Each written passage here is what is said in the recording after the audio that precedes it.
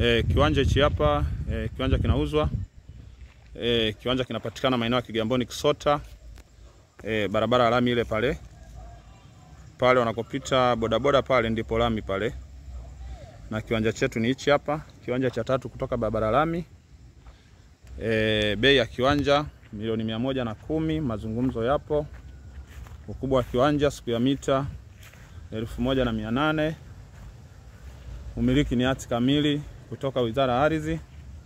Kiwanja kama unavyoona kimeshazungushwa fence, bado kuweka geti.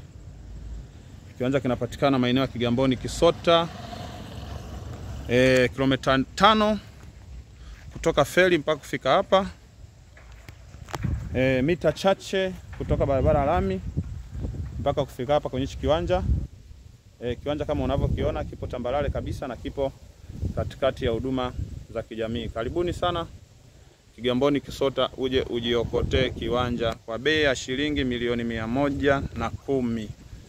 Karibuni sana.